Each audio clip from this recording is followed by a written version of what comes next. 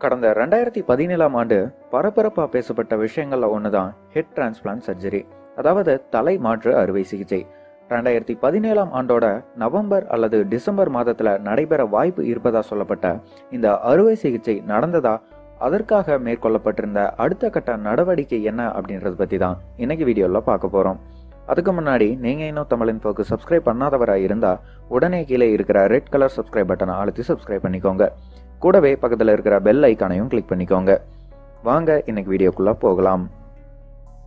ரெண்டாயிரத்தி பதினேழாம் ஆண்டோட ஆரம்பத்தில் இத்தாலியை சேர்ந்த நியூரோ சயின்டிஸ்டான செர்ஜியோ கேனபேரோ அந்த ஆண்டோட இறுதிக்குள்ள உயிருள்ள மனிதனுக்கு தலைமாற்று அறுவை சிகிச்சை மேற்கொள்ளப்படும் அப்படின்னு பப்ளிக்காக அறிவிச்சிருந்தாரு.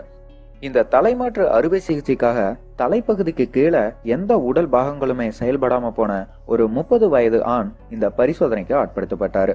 இதுக்கு முன்னாடி தலைமாற்று அறுவை சிகிச்சை நாய்கள் மற்றும் எலிகளில் செய்யப்பட்டு ஓரளவு வெற்றி கிடைச்சிருந்தாலும் மனிதர்கள் மேல இந்த சோதனையை மேற்கொள்றது அப்படின்றது இதுதான் முதல் முறை அப்படின்னு அந்த சயின்டிஸ்ட் சொல்லியிருந்தாரு. இதை மேற்கொள்ளவிருந்த நியூரோ சயின்டிஸ்ட் கேனபெரோ இந்த தலைமாற்று அறுவை சிகிச்சையானது சீனாவில் இருக்க ஹார்பின் மெடிக்கல் யூனிவர்சிட்டியில் மேற்கொள்ளவிருப்பதாக அறிவிச்சிருந்தாரு. அந்த சமயத்தில் இந்த அறுவை சிகிச்சை மற்றும் வெற்றி அடைஞ்சது அப்படின்னா ஒரு மாபெரும் சாதனையா அமையும்னு பலரும் தெரிவிச்சாங்க. இந்த அறிவிப்புக்கு பின்னாடி இதை பத்தி எந்த ஒரு தகவலும் வெளிவராத நிலையில நவம்பர் பதினேழாம் தேதி சயின்டிஸ்ட் கேனபெரோ தான் வெற்றிகரமா தலைமாற்று அறுவை சிகிச்சையை செஞ்சு முடிச்சதா ஒரு தகவலை வெளியிட்டாரு. ஆனா உண்மையில அவர் மனித சடலங்கள்ல தான் இதை மேற்கொண்டிருக்காரு. இந்த உண்மைகள் தெரிஞ்சதும் பலரும் அவருக்கு எதிராக பல ஆர்டிகிள்ஸை வெளியிட்டாங்க.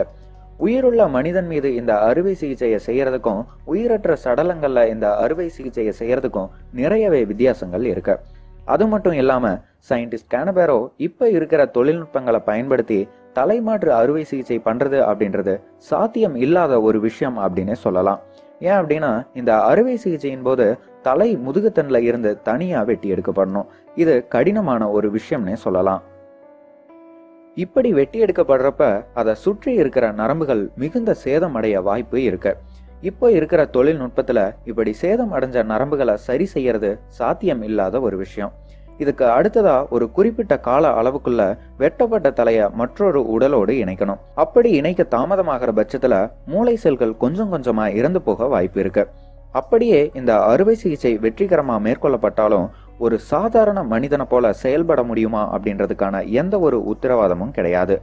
அது மட்டும் இல்லாமல் அந்த நபர் அதிக நாள் உயிர் வாழ முடியுமான்றது கூட சந்தேகத்துக்குரிய ஒரு விஷயம்னு தான் பல மருத்துவர்களும் சொல்லியிருக்காங்க.